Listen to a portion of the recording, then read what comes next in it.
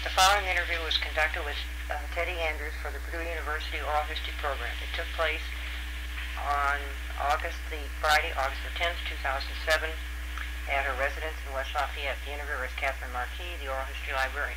Welcome. Tell us a little bit about where you were born and your early life. Well, I was born near here and always lived pretty much in this area. And uh, I graduated from West Lafayette High School in 1939 and the war was coming on, and all the men went off to war, and I finally went to live with my parents who lived on Sheetz Street, very close to campus, and stayed there with my, my only child, my son, uh, during most of the war. And those dates I have down there, this is from library cards, were 1939 to 45, but we were only in the war from 41 on. And when I was, uh, my sister was working at the library in a full-time position, and they came in and said, in 1945, we are desperate for help because the GIs are coming back and we got nobody to do much of anything. Do you know anybody that could help? Well, my sister said she thought maybe I could part-time since my mother could watch my son. And I was, I figure, was 24 years old then, and my son was about three. So I went down there to help. I was a good typist. And it was one awful mess.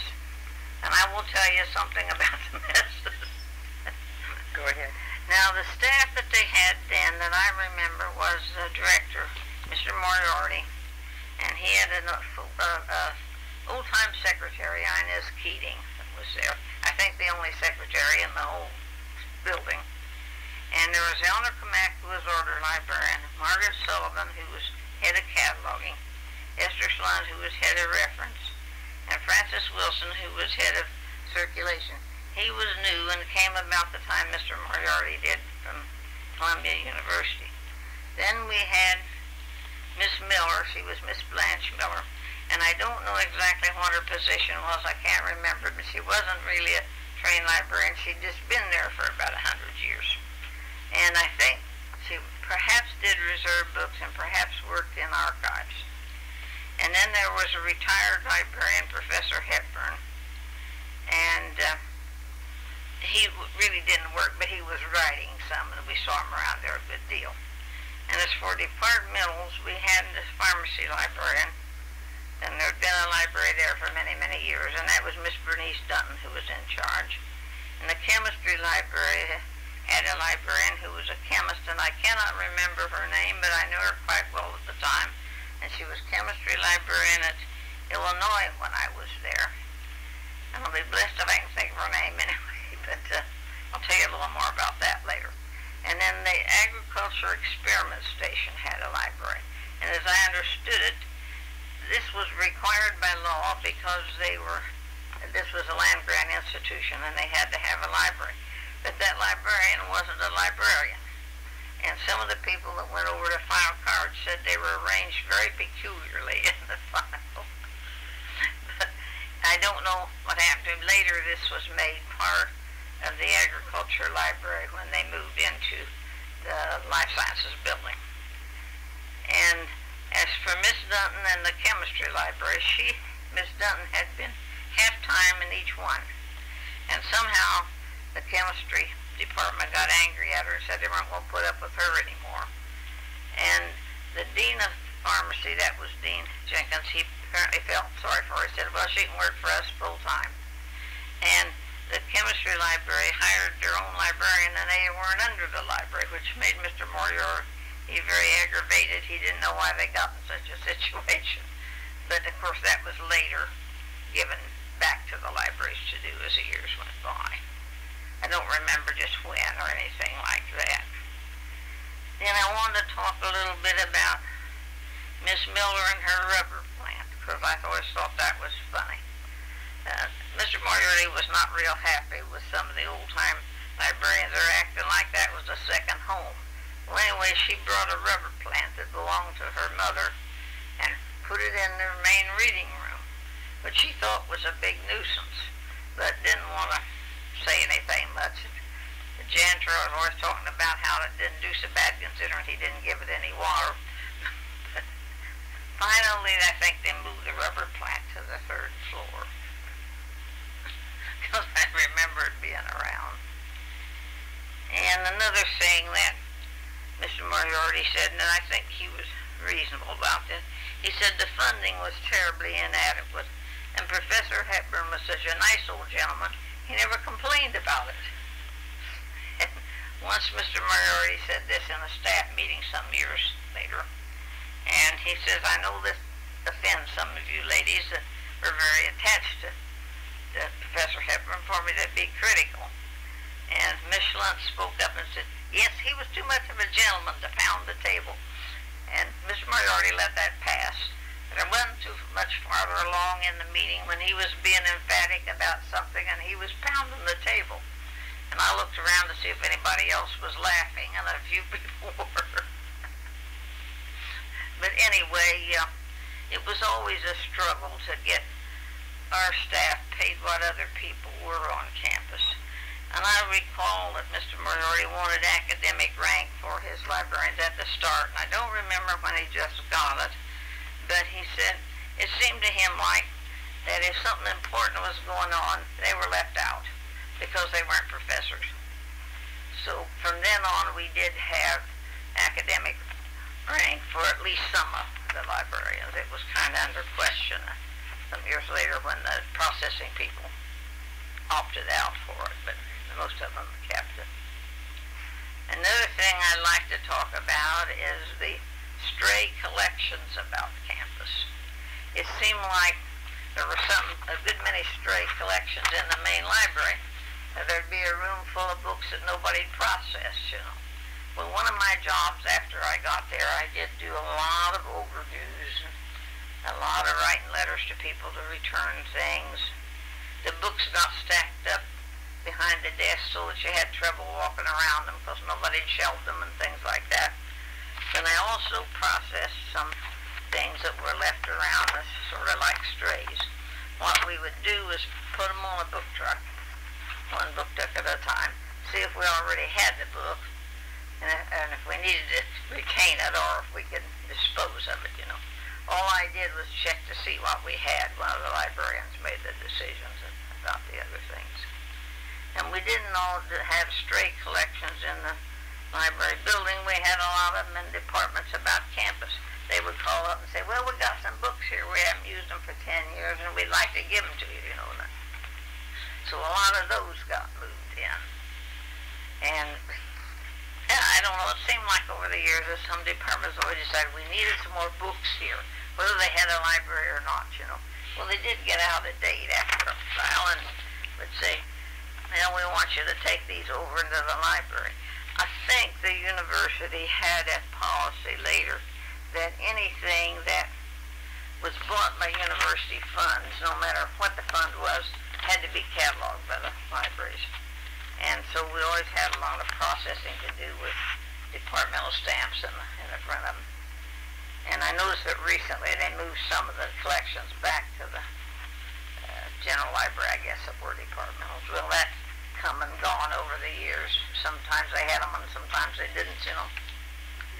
But part of Moriarty's idea was, and I think this was true, he said it was a kind of a necessity to have departmental collections because we really didn't have space in the main library building.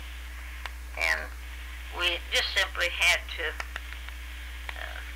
do something to find a place for For them. the books. And there was lots of discussion in the- those days about whether it was good to have a big central library, or whether it was good to have departmental libraries. And I always thought if they were all like us, they would do what they needed to do. If they had a big central library, fine. If they didn't, they could farm them out. But I believe the schools liked them. I remember that Dean Jenkins said in regard to the pharmacy school collection was he believed that that was one reason they were so successful with their research was because they had the books there in a handy place to use. And that he thought it was a good thing to do in sciences for that reason. And let's see. I went talk a little bit about, how did you get to the uh, pharmacy library? How were you? Well. I just I just finished library school, and I worked for What made you decide to go to library school? yeah, uh huh. What? I finished the University and then I went to library school in 19. Well, I graduated in 55. It was about a year. Sure. Yeah. Did you take a leave or? Yeah, I got to leave. And, and uh, uh, I had come back from there, and I'd stayed, I'd stayed about a year, and I worked in reference and cataloging both for a year. And then Miss Dunton retired from pharmacy, and uh, Mr. Moriarty wanted to know if I wanted to go there. And I didn't know anything about medicine, but I thought well, it sounded like it was interesting enough. And uh, so I said yes. He says, well, if you don't like it, you could come back here. And I always liked it, and I liked to say I thought the research was fascinating. That was, uh, When did you go over there approximately? Do you remember? uh, it had been like about 1956. And I, I stayed there till uh, I retired. And you we talk about some of the changes that you and, and challenges and things? And Yeah, well, you some other notes. Go ahead. uh, the main library, we used to say, and then, then we were told this is a general library now. Then when we got the uh, uh, Stewart Center Library, well, it sort of changed from the general library to a humanities library. and uh, Do some notes there? How did the departmentals, did they expand on them? Because originally you told me there weren't as many. There must have oh been yes, more. they were expanded an awful lot. It, I Mr. don't know how during many. his time, they expanded? Yeah. Okay. I think those three that I named, chemistry and Pharmacy and ag, ag, were all there were in the early days. Okay. I could be wrong about that, but that's what I think. Okay. And uh, I don't know how many we have now, especially since they took some back, but it's a lot. Right. It's about 12 or 13, I think. 13, yeah. Because CFS and farm and Yeah. And I remember that we thought the Stewart Center Library was a kind of a general library, even we didn't call it that. Now, let's see. Oh, engineering got its own building pretty much. There's not much else in there in the Pollard But engine, remember there was an engineering library in each of the schools? Yeah, each of the schools had them, and then they put them all into one, but they had a big building there to do that. Potter, they consolidated. Yeah, yeah. It's interesting too that uh, the, the the schools and departments had monies that the library never had because they had grant funds from, and there was always something allowed in the grant for them to buy equipment and books. At, at least most grants did that. And I recall that Dean Jenkins said, "Well, if we can't furnish the building any other way, we'll do it a little at a time with grant funds." And of course, they did. But we didn't have much uh, opportunity for that, although I think we got a little bit of, uh, of grant monies from time to time. I think I wrote down something here about. How would you contrast uh, Dean Jenkins and Dean Tyler? How did, what was the difference? Were there differences between? Yeah, they were they were both people that I liked to work for. Of course, uh, Dean Jenkins retired before too long. Not too long after many years there, that. right? Okay. Yeah, yeah. And uh, Dean Tyler was writing books. Uh, Dean Jenkins had written some, but Dean Tyler was writing some. And I did most of the uh, uh, literature searching for that. And then I also did books of my own. And, and somehow or other in the ten years, I managed to write six books. And didn't take any leaves. But I did a little every night.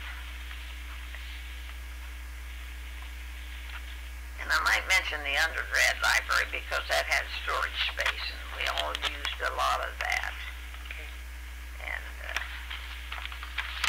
to put things there. Mr. Moriarty died in 1971. He was only 68 years old. I looked that up. And I see here that we received a grant from the Public Health Service in 1967. It was for support of undergrad education. I found that in my notes somewhere. But I don't think we ever got very many grants there. Uh, I got some for pharmacy. Uh, we uh, got some for drug abuse books and some things like that. They weren't very big. Now, um, when you went to the pharmacy, it was not in the building it's in now. You were in a. No, that's a new building, and I helped plan a library for the, for the Okay. one. That, that dedication was in 1970. Yeah, I think that's right, yeah. Did Dr. Dunn help with the planning on that too? Oh, yes, I was going to comment about Dr. Dunn's planning.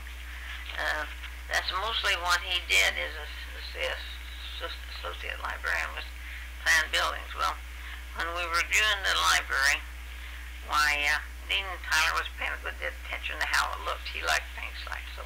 This is planning the pharmacy library. Yeah, yeah. And uh, I had drawn, you know, the, the plans were nice that the architects did. But Dr. Dunn was doing the furnishings, you know. Well, I said to Dean Tyler, you know, I don't like the colors they've got in that engineering library, was civil engineering across the way. It was orange and something, and I thought it looked pretty awful. But Dr. Dunn liked modern colors. So Tyler says, I'll go over and look. He came back and says, I don't like it either. Let's tell them that we'll choose the colors. But I don't, I, I think I made Dr. Dunn angry for the rest of his time. It was really Tyler who said it, not me. Did Dr. Dunn, was he going to take the same colors, you think? Well, it, what he wanted to do was, I think it had some orange in it. And Tyler wanted uh, kind of a green and tan or something like that. But it wasn't near so wild. Just Sort of subdued. yeah, subdued colors. I always thought it was kind of funny because Tyler was like that. If he wanted, didn't want to do something, he just says, "Tell the library I want this," or "Tell the library I want that." Well, they kind of had to do it. and not only did we have a lot of expansion in departmental libraries, we had the audiovisual center started and the regional campuses and the regional campuses all had libraries, and I think Albert Dunn did a good bit of the planning on that. Sure. Malik was involved in that. Yeah, Malik yeah. Morlock. I remember him saying, or maybe it was Moriarty Williams, that I can put a library in about any space. Well, the space they had to put one in was long and narrow. And I recall they said, but I don't know how we're going to get a library in that. it did. What changes did you see when Mr. Dagnese came versus Moriarty? Well, Because you were with Moriarty longer, weren't you? Because you started. Yeah, uh, uh, I don't know that it changed too much for me because I was already at the pharmacy and they kind of did things their own way. I think there was one difference I saw in them, and that is that uh, uh, Moriarty wanted to emphasize things like this. I remember when I went to pharmacy, he said, now you bear in mind that you're working for the school. You do what they want to do and uh, try to be a part of their staff, go to their staff meetings and all that. And he says, I won't, I'm not touchy about it. You, you just do what they want. But I think Dagnese was touchy about it. And maybe that's kind of normal, but he wasn't trying to get something out of the schools either. Moriarty said if they like our librarians and they feel like they're valuable to them, they'll, they'll be more likely to want to steer money toward us. Collaborative. Yes, and that was what they're, uh, he was looking for, to try to build up the funding for the library, because it was awfully inadequate. We couldn't pay our clerical staff what other people did first, and then I think we got so we did. And I'll tell you how I got a computer for the pharmacy school. I was talking to Mimi Drake, who was a, on the associate, she? Research, uh, research unit. yeah, search, you know, about or something, and she was being critical because none of us had learned how to use a computer much in the libraries, at least I hadn't. And I said, look, all the years I've been here, I've never once had a new typewriter, much less a computer. And well, she didn't seem to think they were going to get one, but the dean came along a little bit and sat down to talk, and I told him that I sounded off to the library about that. He says, well, you tell me what you want, and I'll buy the computer. So I called back up and said, well, I'm going to get a computer. The school's going to buy it. That's one way to get things. There's a need and somebody can fill that need, it's taken care of. Joe, Joe Dagnese said, oh, shoot, now I'll have to buy one for everybody. I thought that was kind of the wrong thing to say, but that's what She was in research, but then when Keith moved to special collections, she was assistant head or Yeah. reference and reader, rep, reader services. Well, I might make a comment about my son. He was 15 years old when he started shelving books in the library in the summer sessions. I remember that. But he said I was having a great time with those and he kept that up till he got to grad school. All those he years, graduated from Purdue? All the way to, to a PhD. But when he got to grad school, they had other work for him to do. He didn't work the libraries anymore. But he thought it was a valuable experience. Sure, sure. Right. Although you weren't supposed to stop and read the books. And he was pretty good about that. He'd put them aside and, you know, pick them up later take them home. Mm-hmm. Now, let's see, what else might be of interest? Okay. Did your library grow over time? Yes, they all grew a lot. We were always trying to figure out where we would put something. I did write down here that uh, in 25 years, the volumes increased from about 200,000 in 1944 to 1 million in Moriarty's time. Just total volumes in the library? Yeah, th- this was the complete. The, the ARL statistics? Yeah. Uh-huh. And in 1956, we were invited into the Association of the Research Libraries. I didn't know we hadn't been in before, but that's what That's I good found, thing, good point. found in my notes. And I don't know what the volume count is now, but I'm sure it's a, More than that. yeah, But it's not as much as other schools. yes. I got a FBI clearance to work with secret materials right after the war, and uh, it was hard to clear some people. The FBI didn't do it very rapidly. For somebody like uh, Keith Dowden, who was born overseas, because they had to search backgrounds and they were uh, trying to get people. And so, well, since I'd always lived around here, I, I could probably be cleared right away, and I was. What sort of material did you need to be cleared for? Well, we got secret files that went up to the third floor, and uh, departments that were working in these areas could come and fish out the stuff. There were cards that we found uh, about these things. The project? They didn't mean anything much to me, except I could tell they're mostly about aeronautics, but that's about all I could tell. But uh, every so often over the years, why, they would have me go get some secret material that had come into the executive building. I had to carry someplace on campus, so that's when Dagnese was the director. And he says, I'll have you taken off that list if you want. It's kind of a nuisance now. But it was many years. Yeah. But it was interesting when they cleared me for it, we had to be fingerprinted. And uh, Miss London said that they'd had some trouble getting her fingerprints. Well, they did mine too. What they said was we didn't, our fingers were weren't worn smooth because we'd worked so many years with paper and we didn't have good fingerprints. And they kept fussing around trying to get a good print. They finally did, but I thought, boy, I can go out and rob a bank or something. oh.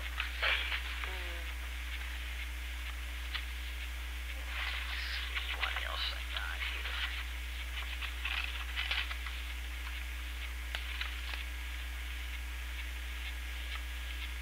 Talk a little bit about the, uh, talking about earlier, the, the, the faculty status for librarians. Yeah, I was just about to mention that. Oh, okay. Mr. Moriarty was for it from the start.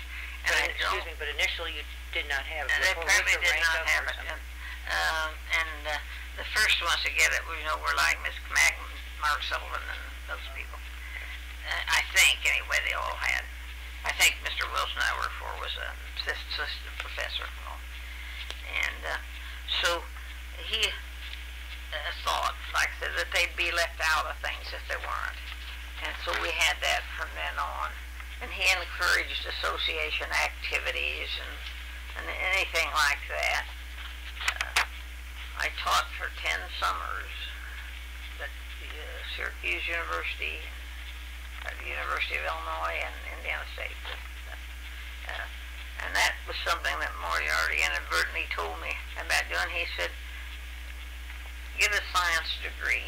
I got lots of the other people. So I got a science degree at, at Purdue. It was easy enough for me, although maybe not as easy as some other things. And that was why I was I was only out of library school three years till they asked me to teach at Syracuse. So they were desperate for a science literature teacher. And Did you do it for a whole summer or? yeah, for a summer session. Mm-hmm. Because I couldn't get away very well from other job for much longer. But I thought it was an interesting thing thing to do, you know, that besides the association activities that we all, we were all involved in that. Speaking of associations, you've been always involved in both MLA and SLA, and Yeah, SLA gave they you that, both had pharmaceutical groups. sure, and SLA gave you that Moriarty Award. Yes, yeah. Did you get any other awards? Well, let's see.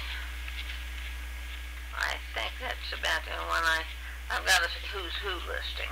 Still have after all these years. Okay, that's good. And I was, uh, involved with the AAUP at Purdue only too. Did you always feel that you had enough staff in your library?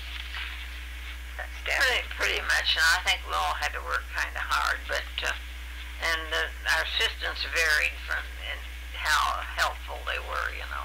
You had students too as well?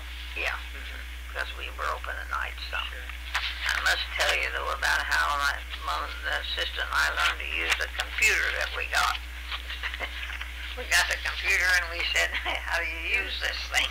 Well, uh, the dean sent somebody up to show us how to do word processing, but we wanted to do a database of books to buy.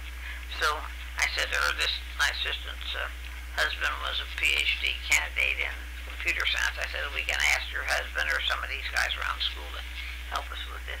And she said, oh, let's don't ask those smart alecks how to do anything. Lock the office door. You and I will figure it out. Well, I should probably say that she figured it out more than I did, but we made, But you put the heads together. yeah, we made some phone calls to the to IBM, you know, about what does this mean in the manual and all that. And one day we'll talk to them and called them up about something. Was somebody that number we could call and get this fella, you know, about uh, uh, questions and all. And I said, well, we're kind of developing our own manual here. When you tell us the answer to these things, we write them down, you know, and put them manual. He says, well, when you get it done, we'd like a copy of it. And I thought, oh boy, we're sending manual to IBM. To enhance theirs. Well, their manuals, I always thought the Japanese probably wrote them. As my son says, they're easy to understand if you already know how to do it. Right.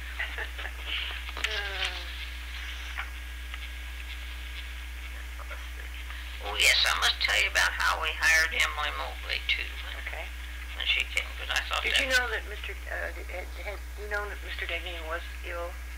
Did people know that he was ill? Joe you know, he was. Well, he wasn't ill very long. He died fairly fast. I think we kind of did, but uh, but he was there almost Yeah. every day. and he was there almost every day. He had trouble speaking, but that's about the only thing I ever noticed. You mentioned that to me one time because some of the tests Yeah, yeah. to. Anyway, we already had Emily as uh, this, uh, one of the associates or something, and we were trying to get a person for the After Joe died. after Joe died for it. And I remember we had a large meeting of Don Brown was one that was uh, one of the vice presidents who was in charge of the library, and he was my son's major professor, so I knew him pretty well too. But uh, anyway, we didn't. I didn't think had any very good candidates, and I thought, uh, you know, Emily was kind of a consideration, but they were mostly kind of against her. I think because some of these men wanted the job themselves more than they were really against black people. But uh, I finally said, well, as I understood it uh, from Joe before he died, that uh, they'd like to get the job as a dean's job. And uh, I know the university wants to to get lot more black people hired. So I think if we can hire her, we, she probably could get position as a dean. And also, she, they won't say no to her so often as they do to some of the other men. And I think we better hire. Well, that's exactly what Don Brown wanted to hear, because I'm sure that's what he wanted to do anyway. So anyway, I think that's how we hired Emily.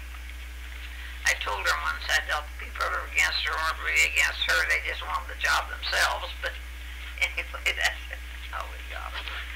And I thought it was a, probably a pretty good thing to do. Wasn't there, backtracking a little bit, wasn't there a gap between when Mr. Moriarty retired and before Joe came on? I Wasn't there interim, Dr. Dunn acted, I was an remember. interim uh, Yeah, I think- Hawkins, I think, was involved in that, wasn't it? Yeah, that's right, there were three people, like that. Right, But Dr. Dunn, I believe, was one of them. right, he was on He did, as my record, While the search was going on. yeah, he didn't want to do it alone, because he was doing other things or something. Sure, sure. And it was a while, I believe, that Because. Joe didn't come until seventy-two, and, Is that um, right? yeah, and Moriarty Moriarty had left in, what, sixty-nine, so during that time, the search was going Yeah, on. I made some notes on that.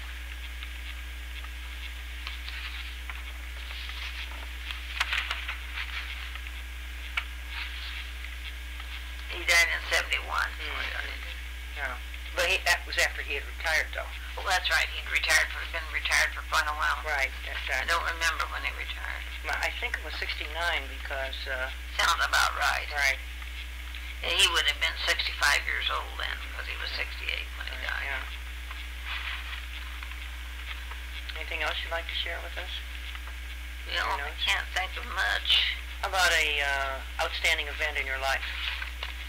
And a favorite memory of Purdue, how about that?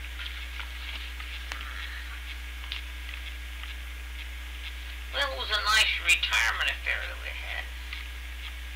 Can't remember, but I think you were in charge of it.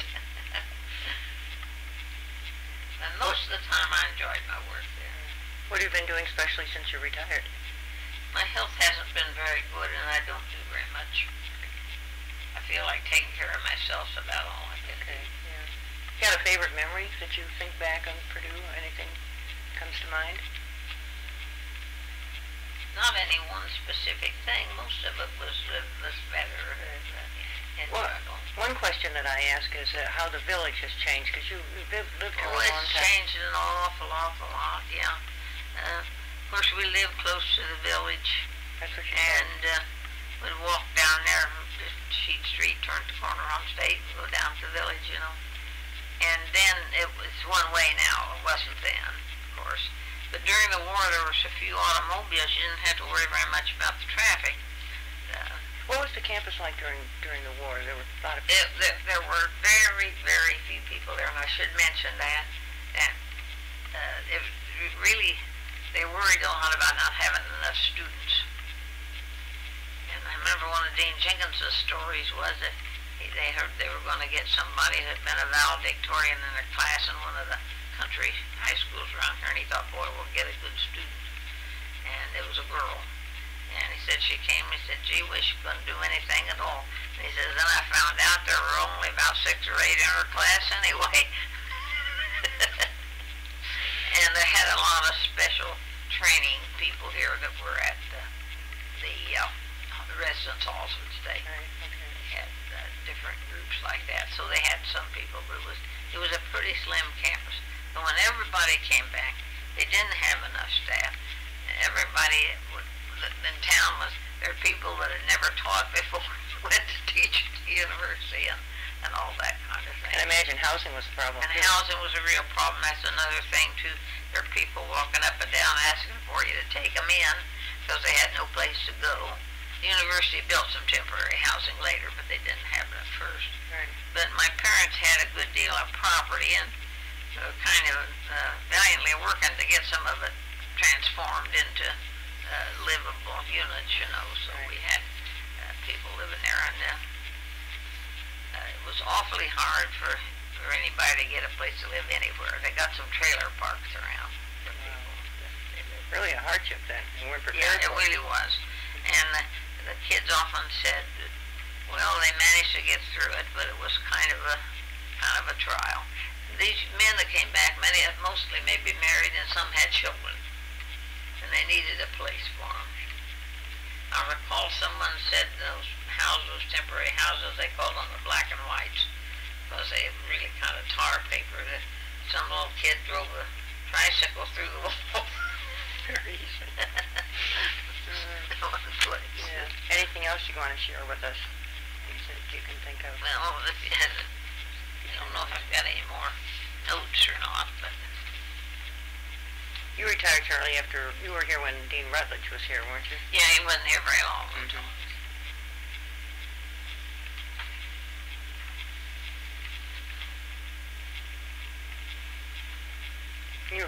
You were active active also in the Indiana chapter of SLA as well. Yeah, they, the- well, the SLA chapter, it was a regional one. Sure.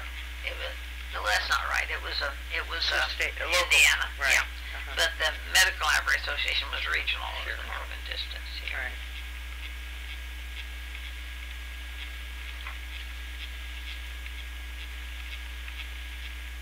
Well, I don't think I've got any more notes about it unless you can say something that Um, recalls it to me. Uh, I think that, uh, you served on some library committees and university committees too, didn't you? You were in, were you in the Senate at all, or? Mm, I don't think so. Okay. But you were, certainly one of your key committees is the promotion and tenure committee. Well, yeah, uh, all the full professors did that. so Right, That's right. part of the, Right, part of the game on that. right. I did an awful lot of traveling to meetings. I was looking at a file in there, and that's a very big fat file of all the places, and some of them I didn't even remember I'd been there. Uh, I guess that card, so you, you- no special event that's outstanding, but we got, just overall was pretty good, huh? Yeah. Good, okay, good job then.